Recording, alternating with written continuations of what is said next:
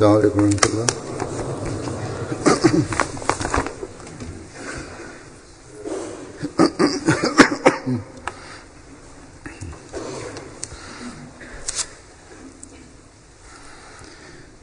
أشهد أن لا إله إلا الله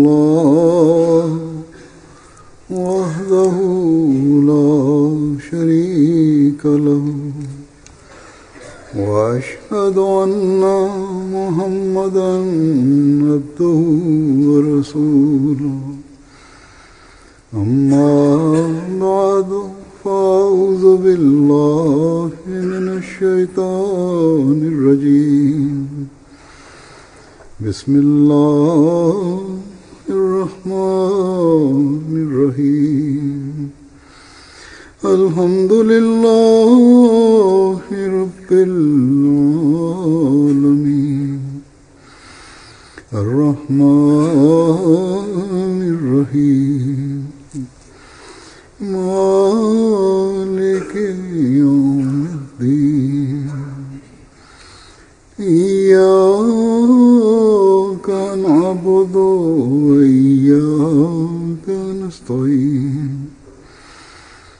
اهدنا الصراط المستقيم. صراط الذين أنعمت عليهم. غير المغضوب عليهم ولا الضالين.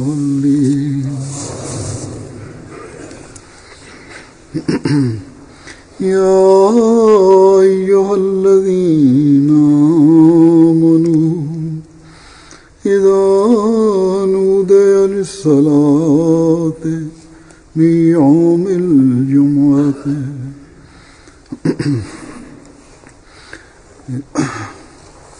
إذا نودي للصلاة من يوم الجمعة.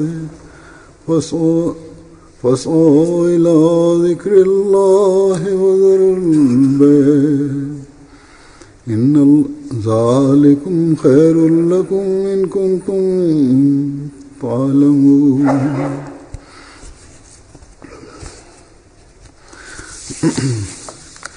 وإذا قضيت الصلاة فانتشروا في الأرض وابتغوا من فضل الله واذكروا الله كثيرا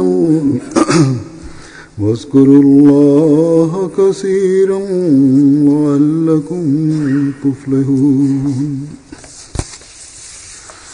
وإذا رأوا تجارة أو لهوا انفضوا إليها وتركوك قائما قل ما عند الله خير من اللهو ومن التجارة والله خير الرازقين.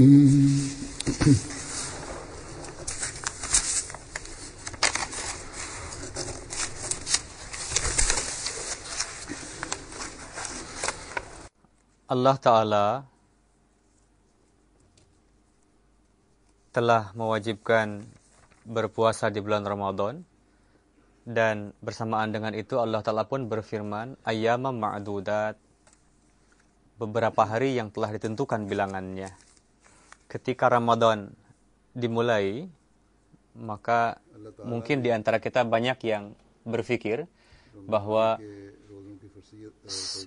di musim panas ini siang cukup panjang dan bagaimana kita akan melalui 30 hari ini pasti akan sulit nampaknya. Namun sebagaimana Allah telah firmankan bahwa ini beberapa hari saja dan memang telah berlalu. Hari ini adalah hari ke-25 bulan Ramadan dan banyak sekali orang yang menulis kepada saya bahwa Ramadan ini telah berlalu dan tanpa dirasakan hal itu. Ketika Ramadan datang, pada permulaannya nampak rasa terasa panjang, tapi ketika hari-hari berlalu tanpa terasa bahwa bulan Ramadan ini eh, telah berlalu. Pada hari ini adalah Jumat terakhir di bulan Ramadan. Mungkin di beberapa tempat lain bersisa empat hari lagi atau lima hari lagi. Pada empat lima hari ini, setiap kita harus berupaya jika ada kekurangan atau ada kekurangan di dalam mengambil manfaat sepenuhnya di bulan Ramadan ini, kita harus berupaya untuk memenuhinya pada hari-hari yang tersisa ini. Berdoalah kepada Allah Ta'ala supaya Allah Ta'ala menutup segala kelemahan kita, mengasihi kita, dan jangan sampai Allah Ta'ala memahrumkan kita dari keberkatan-keberkatan Ramadan. Seperti yang saya katakan, bahwa hari ini merupakan Jumat terakhir di bulan Ramadan, yang di, pada umumnya disebut dengan Jumatul Wida. Muslim, orang Muslim pada umumnya, mereka menganggap Jumat ini adalah hari terakhir bulan Ramadan dan mereka beranggapan bahwa pada hari Jumat ini seluruh doa akan dikabulkan dan dengan melaksanakan ibadah Jumat pada hari ini salat-salat yang tidak kita lakukan sepanjang tahun dan ibadah Jumat atau ibadah-ibadah apa pun yang terlepas selama setahun itu akan terlunasi dengan melaksanakan salat Jumat pada hari ini, Ramadan terakhir ini. Tapi seorang mukmin yang hakiki tidak akan berpikiran seperti itu. Ini merupakan anggapan yang sangat keliru. Seorang Ahmadi dan menurut hemat orang mukmin yang hakiki, pemikiran yang seperti itu merupakan sesuatu yang mengolok-olok agama justru adalah ihsan Allah Ta'ala yang sangat besar kepada kita, bahwa Allah Ta'ala telah memberikan taufik kepada kita untuk menerima utusan Allah Ta'ala dan pecinta sejati Hadrat Rasulullah SAW, yakni Hadrat Masih Maud salam. Beliau alaihi salam telah membersihkan kita dari pemikiran-pemikiran keliru seperti itu dan memberikan bimbingan yang hakiki kepada kita. Dan beliau mengajarkan kepada kita ajaran Islam yang hakiki dan beliau memberitahukan jalan kepada kita untuk mendapatkan kedekatan kepada Allah Ta'ala. Suatu ketika ditanyakan kepada Hazrat Masih Maud salam bahwa ada tradisi di kalangan umat muslim pada Jumatul Wida ini orang-orang melaksanakan salat empat rakaat katanya yang disebut dengan kodo, kodo umri. Maksudnya adalah salat-salat yang terdahulu yang tidak di, dilakukan itu akan diluna, terlunasi dengan dilaksanakannya pada hari Jumat ini. Apakah itu ada bukti? Apakah boleh kita lakukan itu? Menjawab hal tersebut, Hadrat Masih Maud bersabda, ini adalah suatu uh, hal yang sia-sia. Beliau bersabda, orang yang secara sengaja sepanjang tahun dia meninggalkan sholat dengan niat untuk dilunasi nanti, dikodok nanti pada hari ini, orang seperti itu adalah pendosa. Dan orang yang menyesali, dia bertobat, dan dia melakukan salat Jumatul Wida ini dengan niat bahwa pada masa yang akan datang saya tidak akan meninggalkan sholat. Maka orang yang seperti itu diperbolehkan.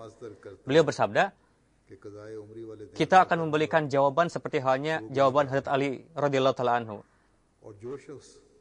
Ada suatu riwayat Masih Maud salam menceritakan, mengisahkan, suatu ketika ada orang yang tengah melaksanakan sholat bukan pada waktunya, pada waktu terlarang untuk melakukan salat ada seseorang yang mengatakan kepada Hadrat Ali, Tuhan adalah seorang khalifah.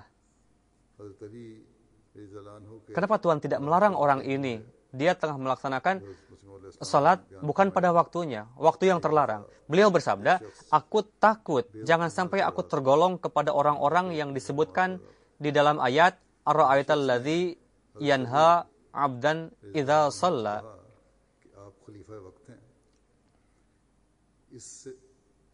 yakni apakah engkau merenungkan orang yang melarang seorang hamba yang tengah melakukan salat?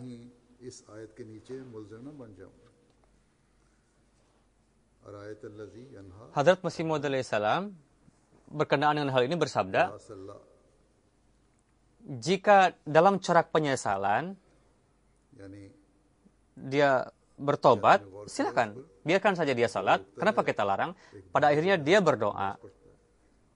Ya, di dalamnya pasti ada satu keputusasaan. Allah Ta'ala maha mengetahui kondisi niat kita. Yang untuk itu, Hadrat Ali radhiyallahu ta'ala anhu pun berhati-hati dalam hal tersebut. Dan beliau memperhatikan Allah Ta'ala berfirman dalam Al-Quran Syarif, abdan. Hazrat Ali mempertimbangkan ayat tadi dan beliau tidak melarang orang tadi untuk salat. Hadrat Masih Maud salam pun mempertimbangkan hal itu. Beliau memberikan fatwa setelah itu. Namun setelah itu beliau menjelaskan dengan jelas bahwa di dalamnya ada uh, keputusan. Jika niatnya adalah untuk supaya bisa dikodo dan niatnya bukan untuk islah, dia bahwa saya melaksanakan empat rakaat eh, setelah itu saya akan sholat dengan dawam katanya boleh saja silahkan. Tapi jika niatnya bukan untuk islah, maka orang seperti itu adalah pendosa. Jadi di dalam jemaat Ahmadiyah ini tidak ada pemikiran seperti kodok tadi untuk melunasi sholat-sholat selama sepanjang tahun yang kita telah beriman kepada imam zaman dan kita beriman. dengan syarat bahwa kami kita akan menjauhkan diri dari bid'ah-bid'ah dan mendahulukan agama daripada dunia. Dan ketika ada janji untuk mendahulukan agama daripada dunia, maka bagaimana mungkin kita meninggalkan salat, meninggalkan salat Jumat? Bagi kita, jika ada pemikiran berkenaan dengan Jumatul Wida tadi, Jumat terakhir bulan Ramadan, maka pemikirannya akan lain sama sekali, beda dengan mereka. Dan bagi seorang Ahmadi yang hakiki, harus memiliki pemikiran bahwa kami dengan berat hati mengucapkan selamat tinggal kepada Jumat terakhir ini dan diiringi dengan doa dan pemikiran bahwa sebenarnya tidak hanya Jumat, melainkan bulan ini juga, hari-hari yang penuh berkat ini juga, kita ucapkan selamat tinggal kepada ini semua. Dan karena Jumat ini merupakan sarana untuk berkumpul dalam jumlah besar bagi kita. Dan hari ini adalah Jumat terakhir di bulan Ramadan. Untuk itu kita berkumpul pada hari ini. berdoa kepada Allah Ta'ala, Ya Allah, berikanlah taufik lagi kepada kami bahwa hari atau Jumat yang telah kami lalui pada bulan Ramadan ini, keberkatan-keberkatan apa pun yang telah kami raih di bulan Ramadan ini, teguhkanlah kami di dalamnya dan seiring dengan segera kapasitas kemampuan kita, kualitas kita, eh, kita sambut Ramadan yang akan datang nantinya. Pemikiran kita harus seperti itu kita mengucapkan selamat tinggal kepada orang yang terkasih, bukan maksudnya kita mengatakan pergilah kamu, kamu sudah berpisah denganku, sudah bebas dariku, karena itu kami akan melupakanmu. Tidak seperti itu. Sekarang kami tidak perlu lagi mengingat kamu. Wujud yang dicintai, yang meninggalkan untuk selama-lamanya, manusia tidak mungkin melupakannya. Untuk melanggengkan ingatan kepadanya, dia melang melakukan perbuatan-perbuatan baik untuk dia atau melakukan perbuatan baik atas nama orang yang dicintai itu. Seorang mukmin akan berdoa bagi orang yang wujud yang terkasih tadi. Ketika terjadi perpisahan sementara, disebabkan karena kesibukan dan pekerjaan dari satu kota ke kota lain atau dari satu negeri ke negeri lain berpindah. Manusia tidak mungkin melupakan orang itu. Dan sekarang kita menggunakan fasilitas di zaman modern ini di telepon atau ada SMS dan sebagainya. Bahkan sekarang ada teknologi Skype, aplikasi. Dengan menggunakan aplikasi tersebut kita bisa mendengarkan suara yang kita kasihi, yang kita cintai. Kita bisa melihat gerakan-gerakannya.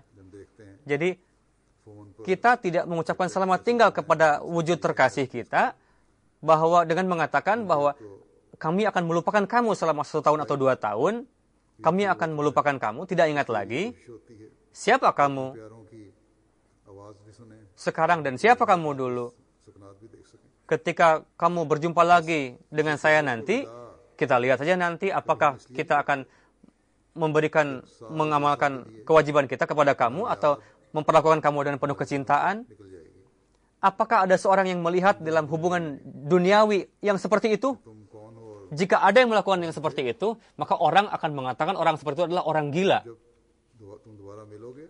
Namun, berkenaan dengan zat Allah Ta'ala yang zat yang sangat terkasih, yang Rabbul Alamin, yang menjadi pelindung kita, yang memberikan segala sesuatu kepada kita, yang Maha Rahman, Maha Rahim, yang mengatakan bahwa orang eh, sempurnakanlah keimanan kepadaku.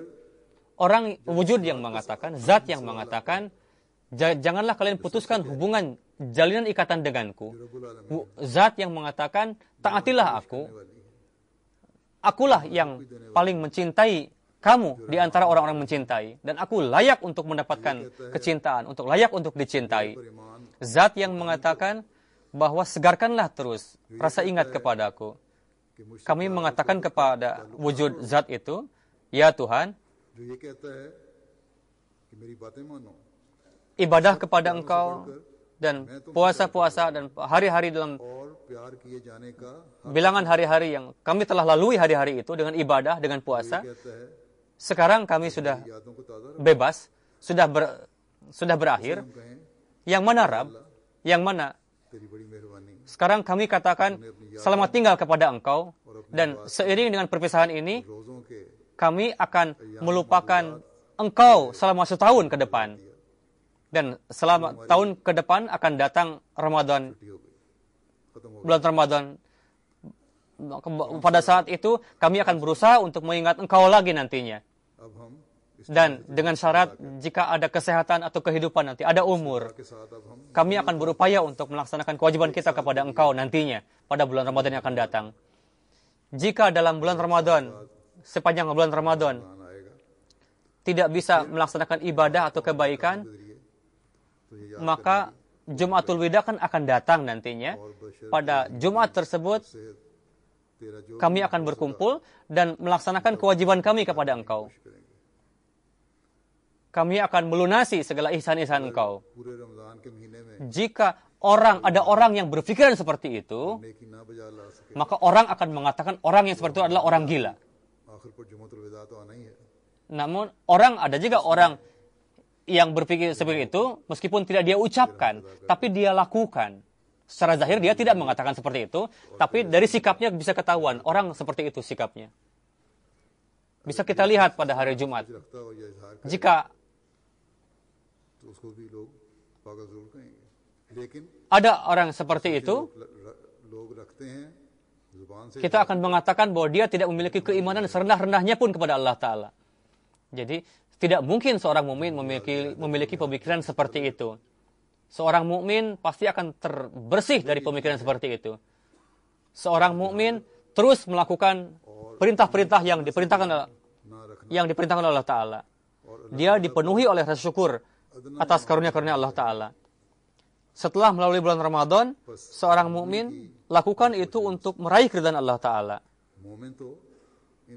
ketika dia melangkah di atas perintah Allah Ta'ala, dia mengatakan selamat tinggal kepada Ramadan, itu dengan berat hati, bahwa kami telah uh, selesai dari bulan Ramadan ini, namun rasa ingat kepada hari-hari ini akan senantiasa kami segarkan untuk selama-lamanya. Hal-hal yang indah, hal-hal yang baik di bulan Ramadan yang kita pelajari, kami akan terus ulangi itu perhatian untuk ibadah di bulan Ramadan ini, kami akan terus hidupkan itu selama-lamanya. Dan langkah kami tidak akan pernah berhenti untuk meraih kedekatan kepada engkau. Kami telah melihat pemandangan yang aneh dari kecintaan kepada engkau. Ketika kami melangkah kepada engkau, maka sesuai dengan janji engkau, engkau berlari menuju kepada kami. Jadi bagaimana mungkin kami kami menyegarkan ikatan jalanan duniawi, tapi wujud yang paling dicintai lantas kita melupakan wujud yang tercinta yang paling tercinta dan melupakan ihsan-ihsannya. Bagaimana mungkin seperti itu? Cara Allah Ta'ala berbuat ihsan sangat aneh sekali. Begitu besarnya ihsan Allah Ta'ala untuk terhindar dari melupakan Allah Ta'ala, untuk mengulangi hal-hal yang indah di bulan Ramadan, tujuh hari kemudian Allah Ta'ala memberikan sarana untuk mendapatkan lagi hal itu. Yang salah satunya kita lalui, yakni Jumatul Wida ini. Di ada satu tahun untuk menunggu Ramadan, tapi untuk menzahirkan rasa cinta ini kepada Allah Ta'ala, dan Allah Ta'ala tidak memahrumkan kita untuk menganugerahkan nikmat-nikmatnya. Pada hari yang ketujuh, Allah Ta'ala menetapkan hari Jumat dan menjadikan kita sebagai orang-orang yang meraih keberkatan-keberkatan Jumat ini yang didapatkan pada Jumatul Wida. Hadrat Rasulullah SAW bersabda, pada bulan pada hari Jumat ada satu ada beberapa detik ketika seorang muslim berdiri untuk salat apa pun doa yang diucapkan itu akan dikabulkan. Tapi detik-detik itu sangat singkat.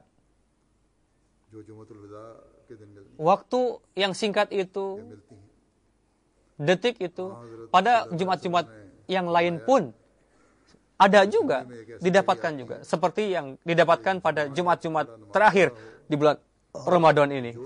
Jadi setelah hari ini, kita tidak terpisah dari detik-detik kedekatan Allah Ta'ala ini.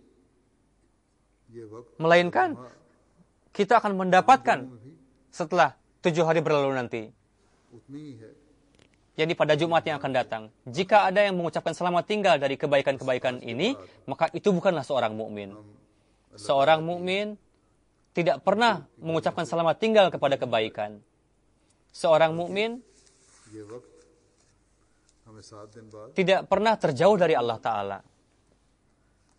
Bahkan dia terus berupaya bagaimana aku menciptakan sarana untuk mengingat kebaikan-kebaikan ini dan bagaimana Aku mencari cara-cara untuk mendekati Allah Ta'ala. Dan bagaimana dan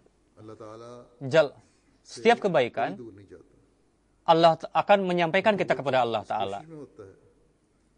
Untuk itu, kita berupaya untuk mencari jalan untuk kedekatan Allah Ta'ala. Tidak hanya pada hari Jumat saja. Jumat datang, maka akan ada sarana untuk bertemu dengan Allah Ta'ala. Melainkan, hadrat Rasulullah SAW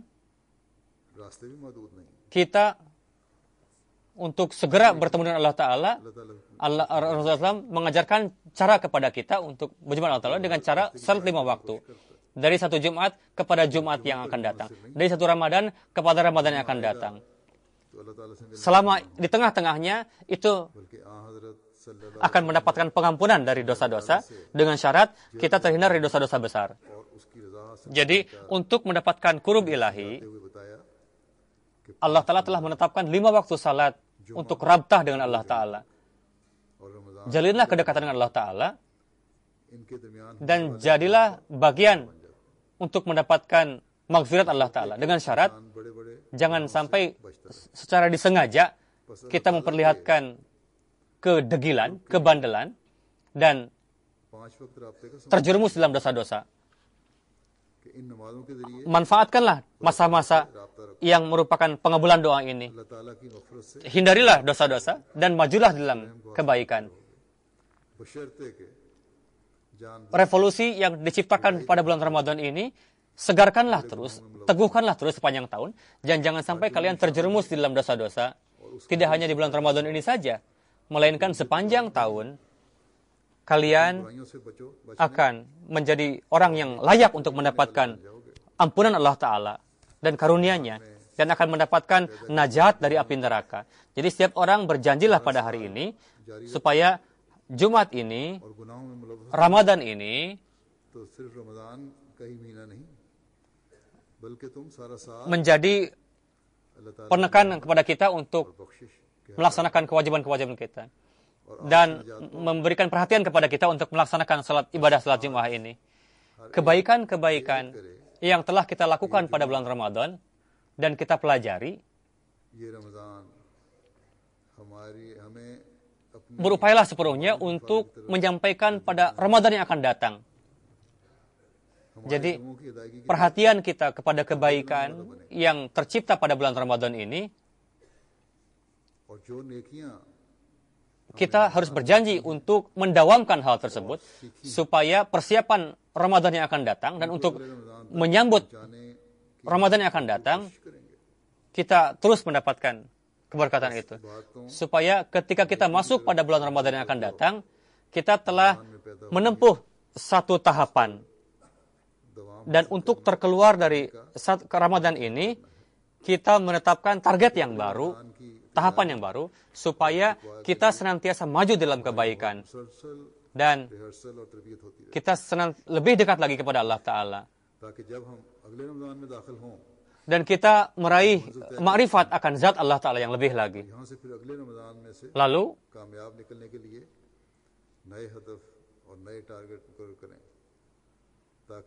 di antara kita masih banyak yang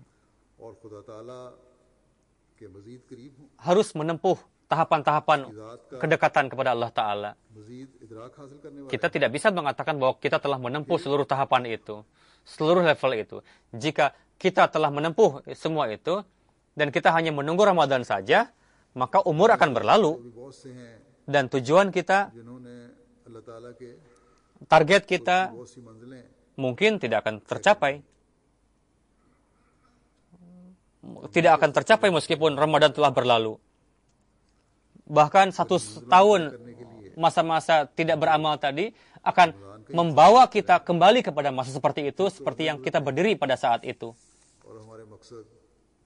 Khutbah-khutbah yang saya berikan pada bulan Ramadan ini berkenaan dengan takwa, doa, dan melaksanakan hukum-hukum Allah Ta'ala.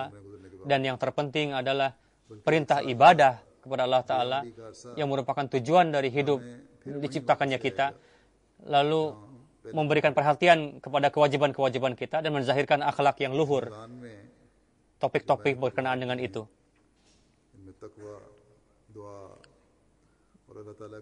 Setelah setiap khutbah itu, banyak sekali orang yang menulis surat kepada saya bahwa kami telah mendapatkan nasihat yang berharga, ingatan kami menjadi segar kembali, dan kami telah mendapatkan taufik untuk memahami lebih baik apa yang Huzur sampaikan.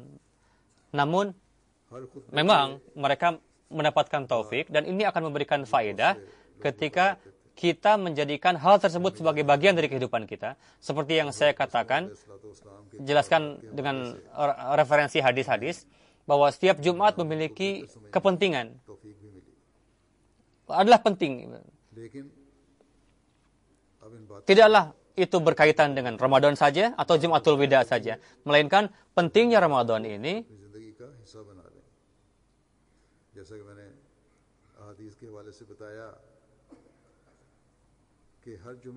ketika secara abadi ada perhatian kita untuk senantiasa melaksanakan salat Jumat. Dan juga ada perhatian untuk melaksanakan salat lima waktu. Ramadan ini datang untuk mengingatkan kita bahwa dalam corak berjamaah, salat-salat, kebaikan-kebaikan, salat ibadah salat iya. Jumat, rasa cinta untuk melakukan ibadah itu, dan perasaan untuk melaksanakan itu, jangan biarkan itu hilang, perasaan itu. Dan jagalah itu sampai datang bulan Ramadan yang akan datang. Iya, Ayat yang saya tilawatkan tadi, di dalamnya, Allah Ta'ala menjelaskan berkenaan pentingnya ibadah salat Jumat. Artinya adalah, Hai orang-orang yang beriman, apabila kamu diseru untuk salat pada hari Jumat, maka bersegeralah untuk mengingat Allah dan tinggalkanlah jual beli. Yang demikian itu lebih baik bagimu jika sekiranya kamu mengetahui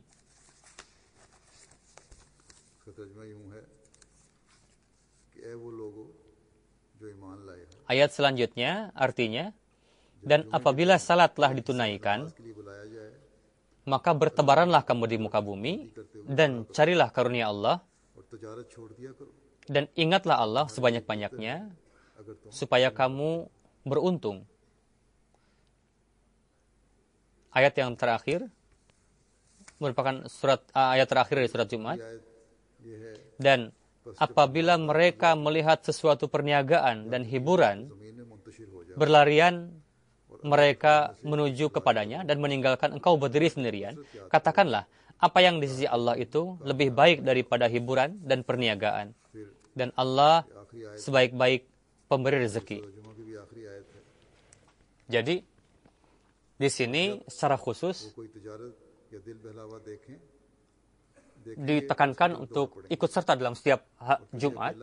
Ketika kalian mendengarkan azan Jumat, setiap orang sekarang mengetahui sekarang ada fasilitas jam yang sudah ditetapkan. Lihatlah itu.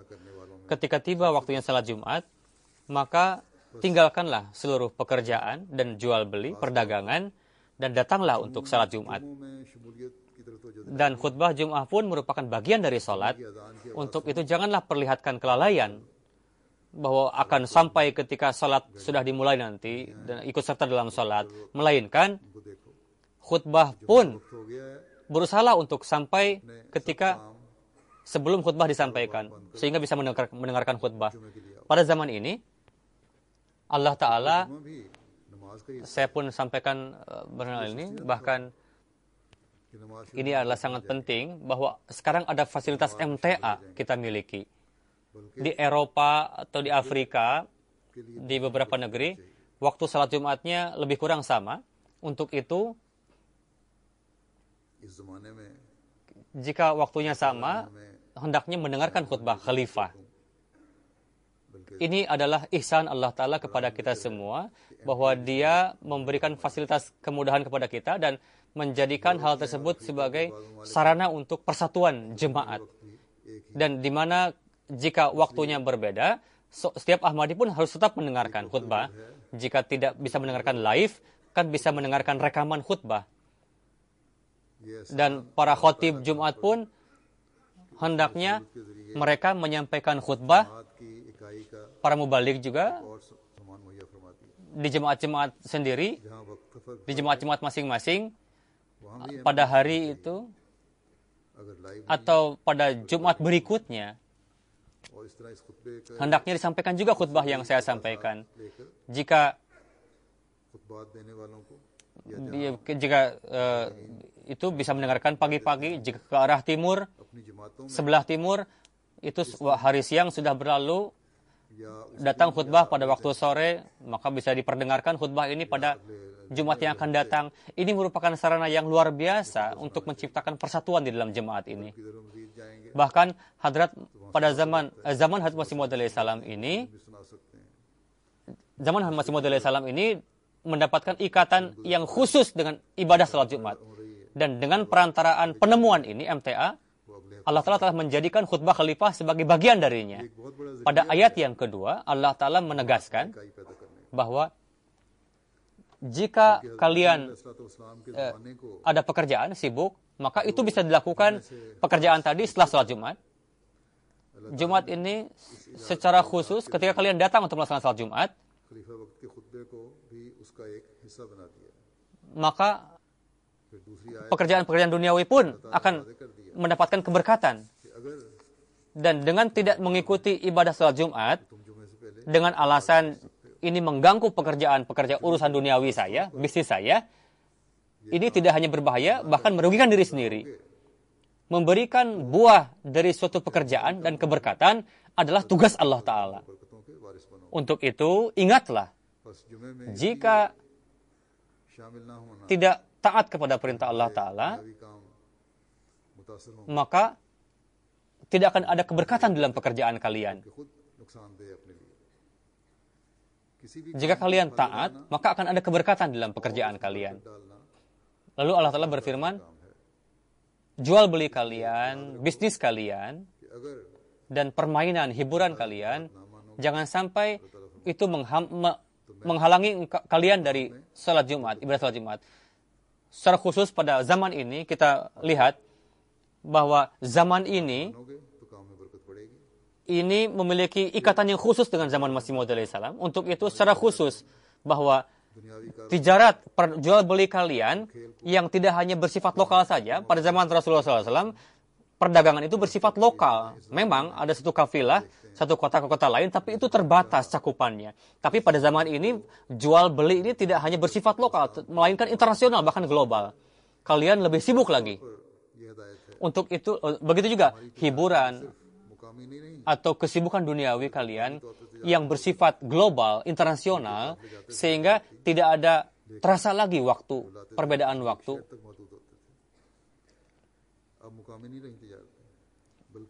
Seorang mukmin bagaimanapun harus memperhatikan pentingnya salat Jumat. Karena setiap mukmin fokus utamanya adalah untuk meraih keridhaan Allah taala. Dan inilah yang harus menjadi fokus utama setiap mukmin. Hadrat sahabat Rasulullah SAW disebabkan karena kuat kursiah beliau SAW telah suci sedemikian rupa dan mereka senantiasa menjadikan tujuan uh, uh, Allah Ta'ala menjadi fokus utama mereka. Sehingga tidak bisa kita beranggapan berkenaan mereka bahwa mereka meninggalkan sholat Jumat disebabkan karena hiburan dan permainan. Atau disebabkan karena waktu-waktu bisnis lokal yang bersifat lokal itu mereka bisa mengatur itu. Pastilah gambaran dari ayat tadi adalah menggambarkan zaman ini yakni zaman Hazrat Masih Maud salam di mana ketika fokus utama terhadap agama itu terasa timbul degradasi dan urusan dunia terus mendapatkan kemajuan. Mereka sibuk 24 jam untuk hiburan, permainan, dan jarak dunia saat ini menjadi kecil. Dengan duduk di depan TV, kita bisa melihat seluruh dunia, hiburan, permainan. Setiap saat itu bisa kita dapatkan di rumah dengan duduk di depan TV saja. Allah telah berfirman, pada saat seperti itu, jika kalian meluruskan, memperbaiki fokus utama kalian, ingatlah bahwa kalian akan menjadi mendapatkan karunia Allah Ta'ala. Yakinlah bahwa apa yang Allah telah berikan ini lebih baik daripada hiburan yang kamu dapatkan. Dan Allah Ta'ala maha pemberi rezeki. Dialah yang menjadi asal dari segala rezeki. Dialah Maha Pemberi rezeki. Jika kalian taat kepada perintahnya dan menjaga ibadah salat Jumat, maka rezeki duniawi pun akan kalian dapatkan dan mendapatkan keberkatan juga. Dan kita harus memperhatikan pentingnya ibadah salat Jumat ini. Kita orang yang beriman kepada Hazrat Masih Maud salam, bagi kita tidaklah etis dari sisi mana pun kita hanya membatasi Jumat ini pada bulan Ramadan saja atau pada Jumatul Wida saja. Pentingnya salat Jumat ini untuk menyegaskan lebih detail lagi, saya akan sampaikan beberapa hadis Hadrat Rasulullah SAW berkenaan dengan pentingnya salat Jumat dan keberkatannya. Beliau bersabda pada satu kesempatan bahwa ketika datang hari Jumat, maka setiap di setiap pintu masjid ada seorang malaikat menulis, dia mengabsen orang yang datang pada pertama kali, dia menulis, dan begitu selanjutnya, orang yang datang kedua, secara berurutan. Ketika orang, ketika imam berdiri untuk khutbah, maka malaikat menutup registernya, daftar absensi tadi. Jadi, orang yang datang terlambat, maka dia akan termasuk di dalam orang yang terakhir di daftar tadi, sehingga ganjaran yang dia dapat pun sedikit. Orang yang datang di akhir terakhir ketika sholat Jumat diriwayatkan akan mendapatkan uh, telur saja, tapi yang datang di awal mereka mendapatkan unta. Jadi permisalan ini menjelaskan kepada kita bahwa jangan kalian menganggap ketika kalian duduk di masjid ini dan menunggu waktu datangnya tibanya waktu sholat Jumat ini adalah menyanyiakan waktu. Jangan berpikir seperti itu. Melainkan orang yang seperti itu layak untuk mendapatkan ganjaran. Yakni orang yang datang segera di awal. Dan orang yang datang kemudian, yang datang terlambat, orang yang datang di awal tadi mendapatkan keistimewaan. Orang yang datang di awal, dia duduk di masjid, berzikir ilahi, pasti ini akan menjadikan, menimbulkan kedekatan kepada Allah Ta'ala. Berkenaan pentingnya hal itu, dalam satu kesempatan, Hadrat Rasulullah SAW bersabda, orang-orang pada hari kiamat, dari sisi salat Jumat, duduk di depan Allah Ta'ala, yakni datang di awal, kedua, dan ketiga, dan keempat. Dan perawi mengatakan, yang keempat, dari sisi duduk di depan di hadapan Allah Ta'ala, dia jauh dari Allah Ta'ala. Yang terjauh. Pada suatu kesempatan, Hadrat Rasulullah bersabda, Datanglah, biasakanlah untuk datang sholat Jumat, dan duduklah di dekat imam, dan orang yang duduk di belakang, maka dia akan tertinggal di surga. Meskipun dia termasuk dalam orang-orang yang masuk surga. Jadi, semua hadis ini menjelaskan kepada kita bahwa pentingnya salat Jumat ini penting. Terlepas apakah Jumat itu datang pada bulan Ramadan atau pada Ramadan terakhir atau dalam hari-hari pada umumnya, hari-hari lainnya. Maksud orang yang ada di belakang eh, di surga tadi bahwa manusia disebabkan karena kelalaiannya dan tidak mementingkan ibadah salat Jumat meskipun dia memiliki banyak kelebihan tapi dia dimahrumkan dari surga atau dia menjauhkan Allah Ta'ala dari dirinya sendiri. Disebabkan karena tidak mementingkan ibadah salat Jumat, orang itu mulai bermalas-malasan kepada untuk salat Jumat. Berkenaan hal itu, Hadrat Rasulullah SAW memperingatkan, beliau bersabda, orang yang secara berturut-turut meninggalkan sholat Jumat selama tiga kali secara sengaja, maka Allah Ta'ala mencap hatinya. Jadi orang-orang yang menganggap sepintas lalu ibadah sholat Jumat ini, ini merupakan peringatan besar bagi orang seperti itu. Maksud dari mencap hatinya itu adalah mereka tidak mendapatkan taufik untuk melakukan kebaikan dan tidak juga mereka akan menjadi orang-orang yang meraih kecintaan Allah Ta'ala. Jadi dari setiap hadis ini jelaslah bahwa setiap Jumat ini adalah penting. Dan kita harus berupaya sepenuhnya untuk ikut serta dalam ibadah salat Jumat. Tapi ada beberapa uh, keterpaksaan sehingga orang tidak bisa datang. Dan Allah Ta'ala sendiri pun memberikan uh, uh, cuti juga kepada kita. Allah Ta'ala tidak zalim. Orang yang dikecualikan untuk ibadah salat Jumat ini berkenaan mereka, Rasulullah SAW bersabda, hamba sahaya, wanita, anak-anak, dan orang yang sakit. Semua kategori orang ini termasuk ke dalam kategori terpaksa. Bagi mereka tidak diwajibkan, tidak diperlukan untuk, tidak diwajibkan untuk sholat Jumat. Dikecualikan. Perlu disampaikan juga ada beberapa wanita menulis kepada saya, bahkan melontarkan keberatan kepada saya bahwa terkadang para pengurus melarang kami untuk datang salat Jumat ini karena anak-anak kami berisik. Wanita dan anak-anak Rasulullah sendiri mengecualikan wanita dan anak-anak ini untuk hadir ibadah salat Jumat. Untuk itu yang lebih baik adalah jika tidak ada pengaturan tempat terpisah untuk anak-anak, di sana wanita tidak perlu datang ke masjid. Memang tidak diwajibkan bagi wanita, tapi diwajibkan bagi pria. Telah tanyakan kepada Hazrat Masih Maud alaihissalam berkenaan dengan datangnya ibadah salat Jumat bagi para wanita, beliau bersabda, sesuatu yang terbukti dari sunnah dan hadis, apa perlunya kita untuk memberikan tafsir lebih dari itu? Hadrat Rasulullah SAW telah mengecualikan wanita, lantas hukum perintah ini hanya untuk laki-laki saja Jumat ini. Jadi bagi para pria diwajibkan untuk ibadah salat Jumat. Jika dia tidak sakit, dan tidak ada keterpaksaan yang jaiz, maka bagaimanapun dia harus datang ibadah salat Jumat. Hazrat Masih Maud salam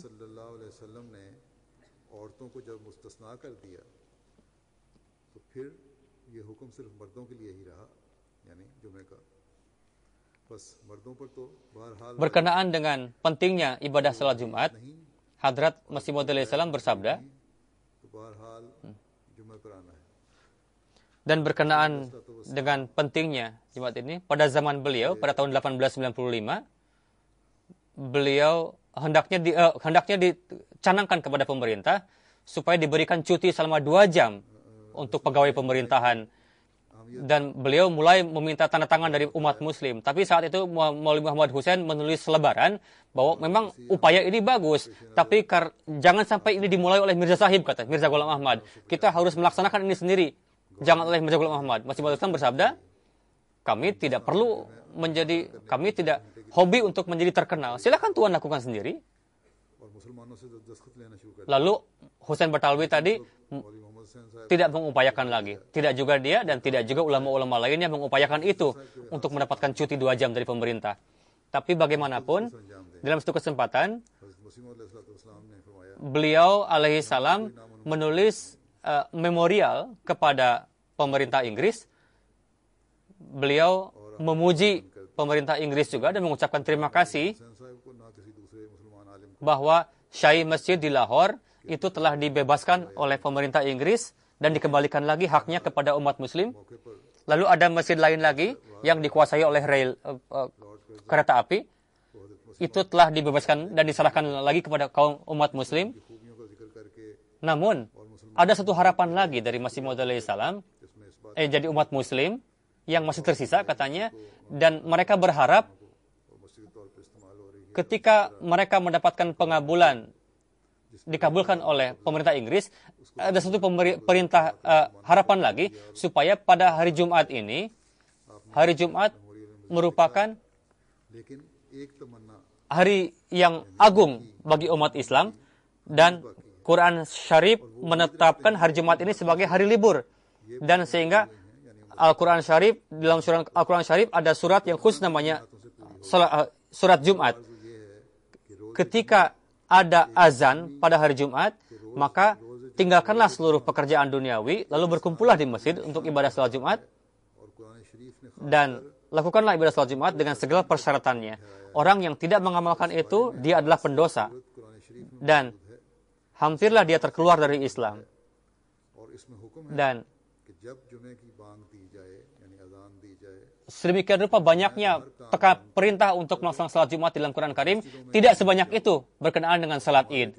Jadi semenjak Islam ini zahir itu ibadah salat Jumat eh, salat Jumat hari Jumat selalu diliburkan selama 800 tahun ketika raja-raja Islam eh, berkuasa. Hari Jumat ini selalu diliburkan di negeri ini ada tiga kaum, Hindu, Kristen, dan Muslim. Hindu dan Kristen mendapatkan uh, libur pada hari Minggu, diberikan untuk melakukan ritual ibadah mereka. Tapi pihak Islam, umat Muslim, mereka belum mendapatkan cuti pada hari Jumat, dan mereka mahrum dari itu. Eh, kebaikan-kebaikan yang telah diberikan oleh pemerintah Inggris kepada kita. Jika pemerintah Inggris memberikan libur pada hari Jumat kepada umat muslim, maka ini layak untuk ditulis dengan tinta emas. Dan ini merupakan hal yang luar biasa bagi umat muslim. Lalu beliau menulis, jika pemerintah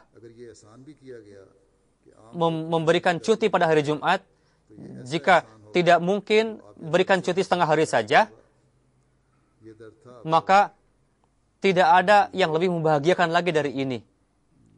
Bagi pemerintah jika bisa meliburkan pada hari Jumat atau setengah hari libur. Jadi saat ini para ulama yang menuduh Masih Maud salam sebagai antek Inggris,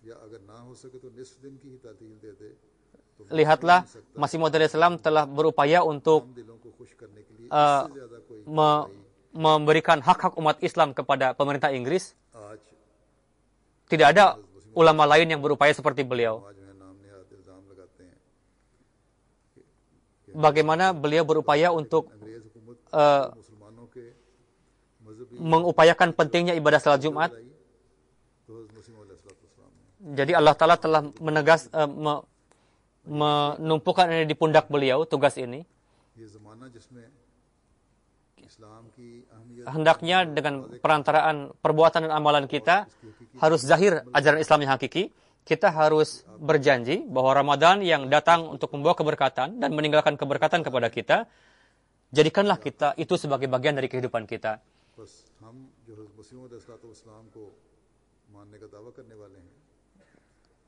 Janganlah kita menjadi gambaran Islam untuk hanya sebulan saja, melainkan harus abadi dan kita harus berjanji untuk itu.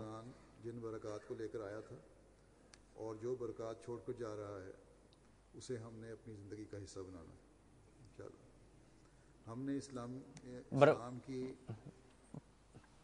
dan zaman Masih Maud salam adalah memiliki ikatan khusus dengan ibadah salat Jumat. Berkenaan dengan itu, Hazrat Masih Maud salam bersabda, ada satu dua kutipan saya akan sampaikan. Beliau bersabda, Allah Ta'ala yang telah menganugerahkan nikmat, inilah Islam, yaitu inilah agama yang dinamakan Islam.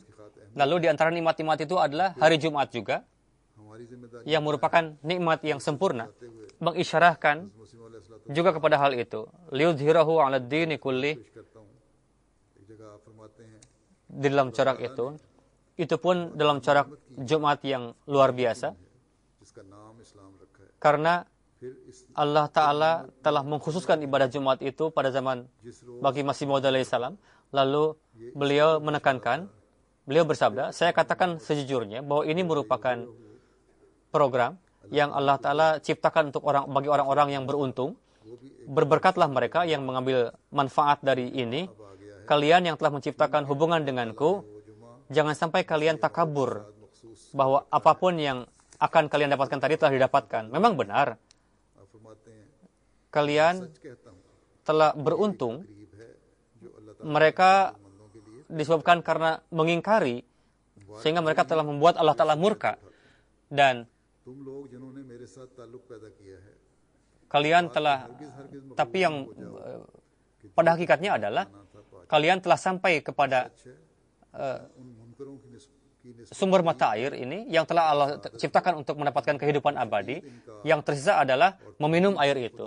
Jadi, mintalah karunia Allah, karunia Allah Ta'ala, supaya Allah Ta'ala memberikan air itu kepada kita, karena itu tidak bisa kita dapatkan tanpa Allah Ta'ala. Aku meyakini bahwa orang yang minum dari mata air itu, dia tidak akan binasa karena air itu menganugerahkan kehidupan dan menyelamatkan dari kehancuran dan menyelamatkan kita dari serangan setan.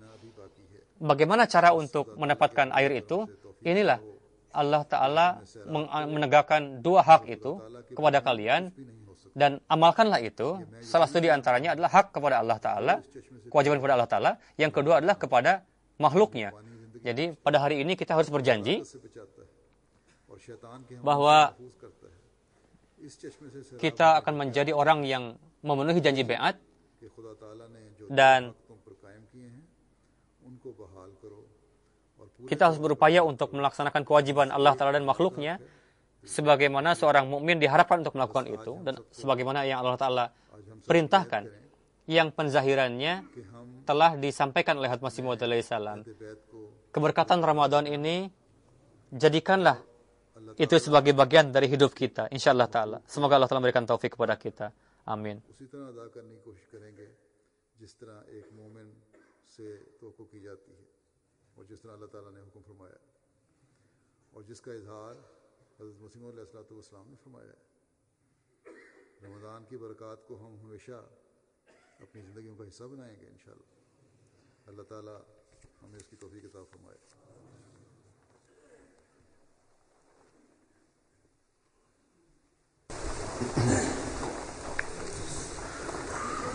الحمد للہ الحمد لله نحمده ونستعينه ونستغفره ونؤمن به ونتوكل عليه ونعوذ بالله من شرور أنفسنا ومن سيئات أعمالنا.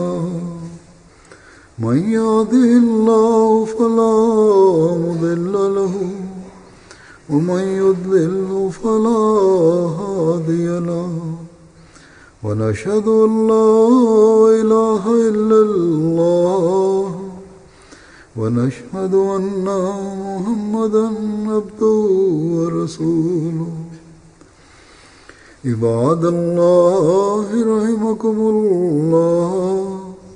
إن الله يأمر بالعدل واللسان وإيتاء ذي القربى وينهى عن الفحشاء والمنكر والبغي يعظكم لعلكم تذكرون.